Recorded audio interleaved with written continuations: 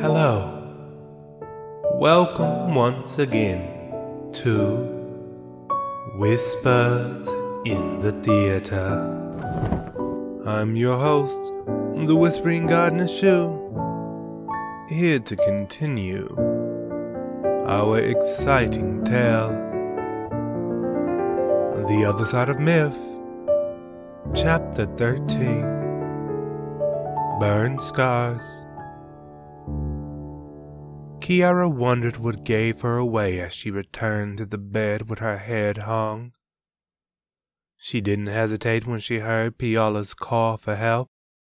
She was ready to jump into Diana's fight. She was the one who saved the girl, stopping the final puppet. So where had she gone wrong? Scarlet eyes turned to Pialla, waiting patiently for an answer. It had to come. Kiara knew. But she still wondered how she hid it so poorly. Who else knew she was afraid of her magic? Danson? Liu? Mordunor definitely. His own words gave that much away.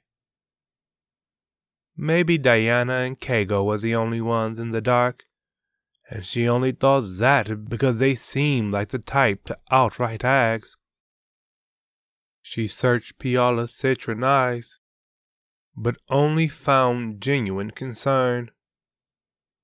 She sighed and chuckled to herself. Is it obvious? Did she give away something the whole world could see? Maybe not for others, Pialla answered. But because of how I use magic, I can tell. Even then, I didn't know outright. The girl flushed, turning away. But when I kissed you, it was clear. She looked back, eyes cast down, and Kiara laughed out loud. She shook her head in apology. Why did you kiss me anyway? She asked, but could not complain. Pialla was a pretty girl. She caught Kiara's eyes with magnetic force.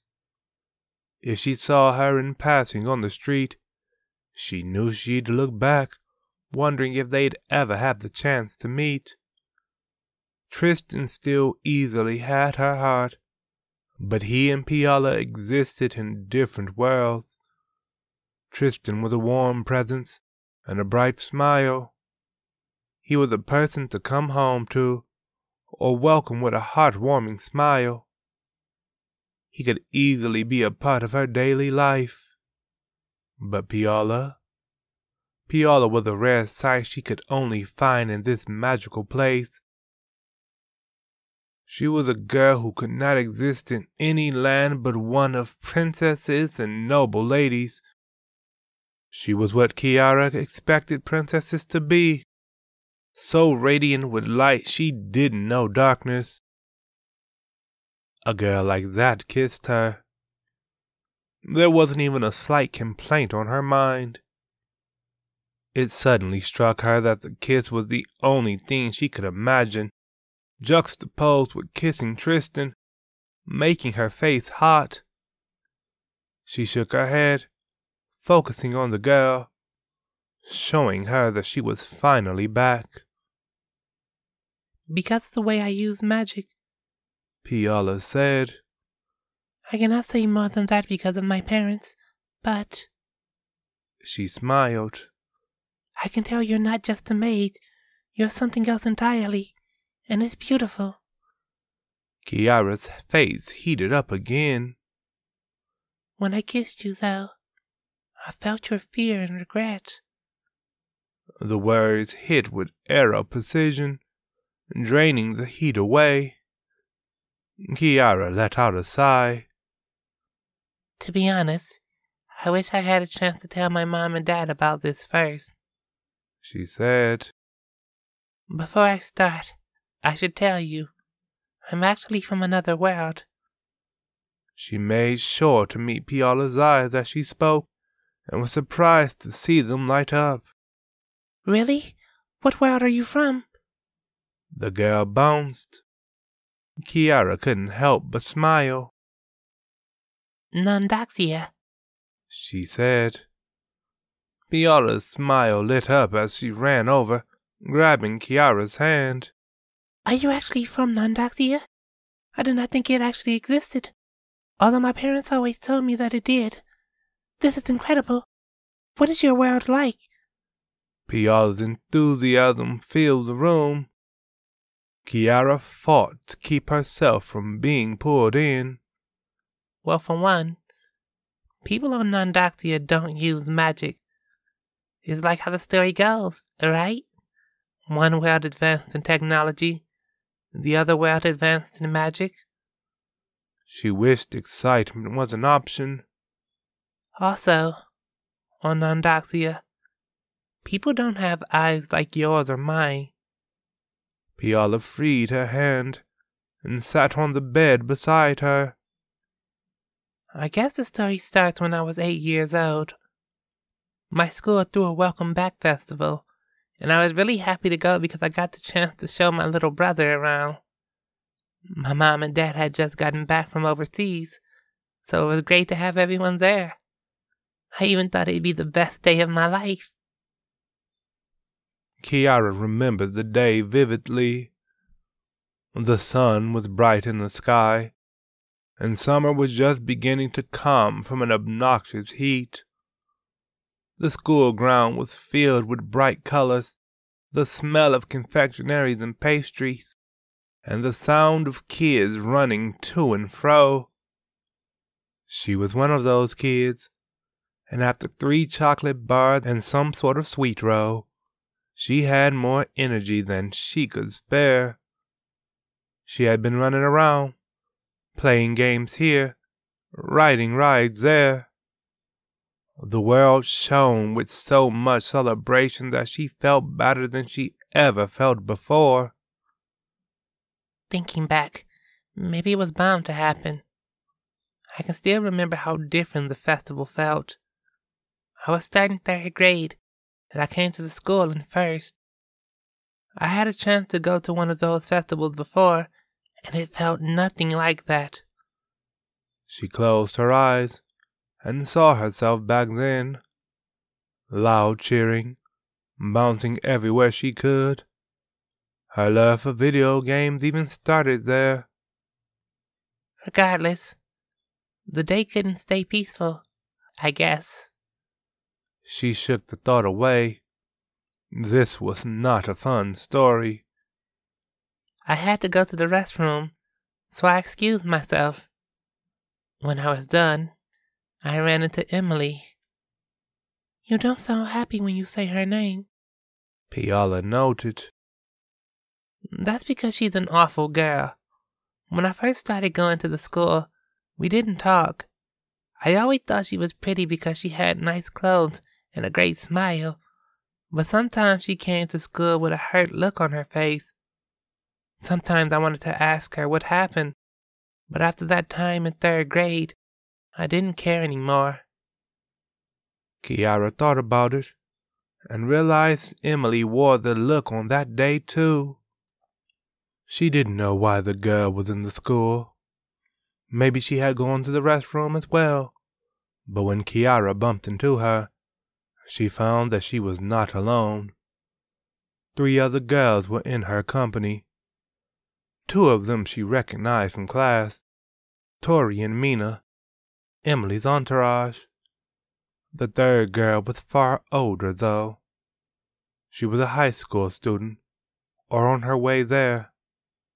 Kiara didn't know her name at the time, but later learned it was Irene. She ignored this girl, waving at Emily.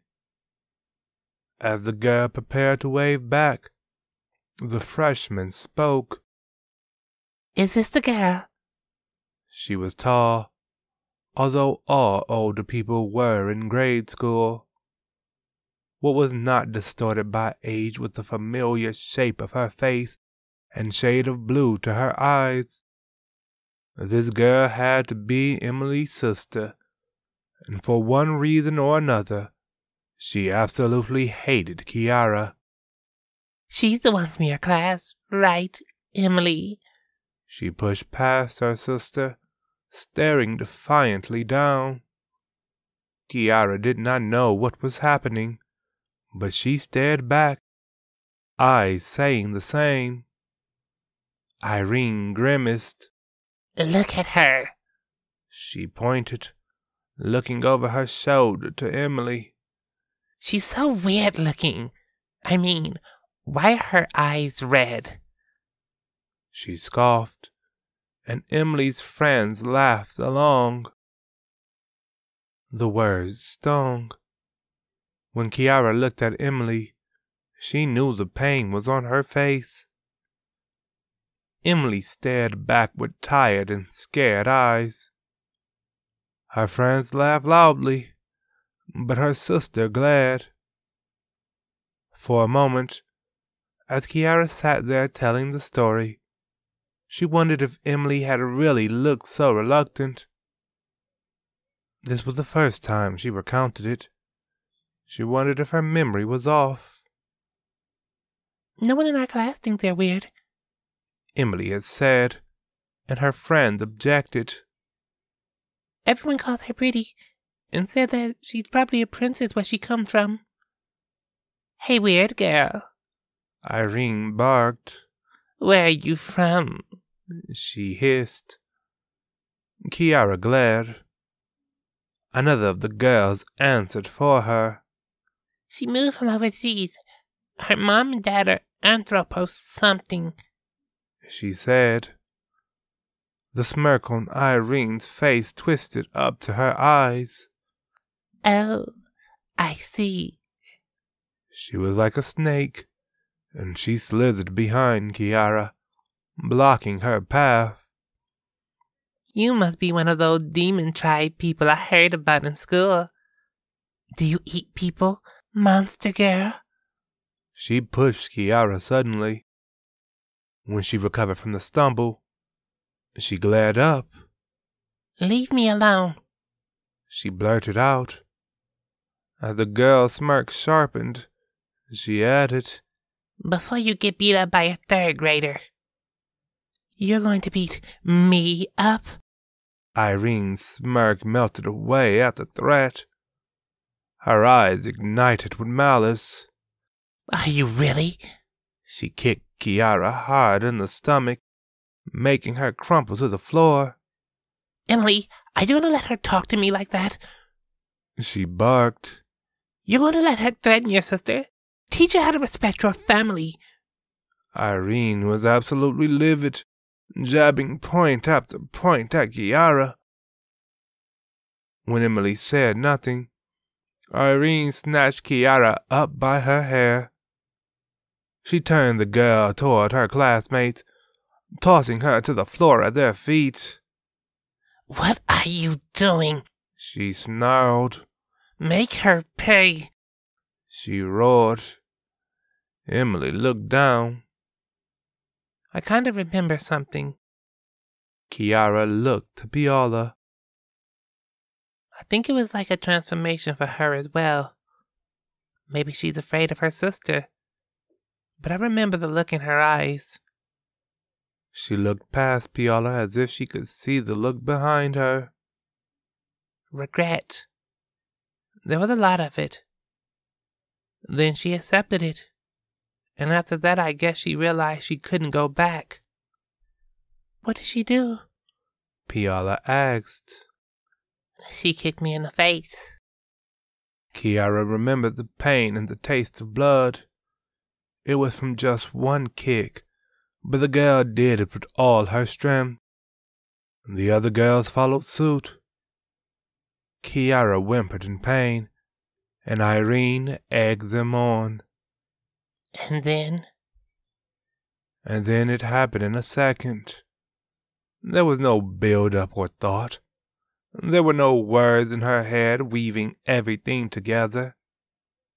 She did remember a moment, another second passing between kicks. She held up her hand to stop them, and then Fire, she said, remembering the blaze. Fire rose from her palm, striking the ceiling. It crawled along the stone, sweeping through the hall around them. Nobody seemed to notice it came from her. They were too busy screaming. Bullies turned victim as they ran from the rage. Who could say Kiara was the cause? I didn't even know I did it. And I hated that they were planning to leave me behind. The touch of power against her palm was like heat, and she reached out toward them. Maybe part of me did know. I remember thinking I wanted them to burn. There came a surge of liquid fire like a flood down the hall. As the girl threw doors open, the fire exploded outward. A great deal of chaos responded to the flame. No one knew where it came from, but it came so fast and hungry that it scorched everything it touched. Stands exploded as they were licked. Tents became bonfires. Screams smothered joy as people fled as far away as they could. No one checked inside. Kiara felt like she was going to die. No one but Emily's group knew she was there, and the destruction was too much for anyone to look for her. I passed out, I think. Kiara said. All I know is that I woke up some time later in the hospital. The doctors were surprised that I didn't suffer smoke inhalation. The news was on my room's TV, and I saw what the flames had done to the school. She shook her head. It was a stone building, but nearly most of it had melted away. No one could guess where the fire came from. I can't imagine how frightening it must have been to see what happened to the building. Pialla covered her mouth. What was more frightening was hearing what happened to the victims. There were five kids and three adults. Two of the kids and one of those adults died. I couldn't believe what I was hearing. I felt lucky to be alive. But then Irene appeared on the screen. I don't know what happened. I was walking my sister and her friend to the restroom, and. The girl almost looked vulnerable as she teared up. I feel horrible about what happened to that girl. She was my sister's friend. If we knew she was stuck inside, we would have saved her. When I saw her, I was mad. I was trapped in there because of her, and she didn't even have a scratch. I wanted to get back at her. That's when I felt the magic in my hands. When I looked down, they were on fire. I screamed. Eventually, the nurses came and calmed me down. By then, the fire had faded, and they told me it was a bad dream when I told them what happened. I knew it wasn't, though. I knew I had caused all that damage. Kiara hung her head. Lifting it, she gave Pialla a desperate look. In my world, you can find books and shows about people with special powers. I always thought I'd tell my friends and parents if I got any. But after the news coverage at Memorial, I couldn't dare. I didn't want them to know what I could do. She felt like she was sinking. Holding herself didn't help. Of course you were afraid. Pialla placed a hand on one of hers. I can't blame you at all. Her sincerity made Kiara look at her finding a welcoming shine in her citron eyes. You don't have to be afraid any more, though. You can control your magic now, right? And you even used it to save me. She did, in fact. Kiara thought about how she flew through the air, how she managed to pull Pialla from the puppet's grasp, it was the first time she used her magic since the fight with Feline, and even that fight was part of Pialla's point. She could control her magic. In almost seven years, she hadn't caused another incident like that. Smiling, she turned to the girl, ready to thank her. Then a purple flash filled the room. Chapter 13 ends. And so too ends another episode of Whispers in the Theatre. I would be delighted if you were to join me once again.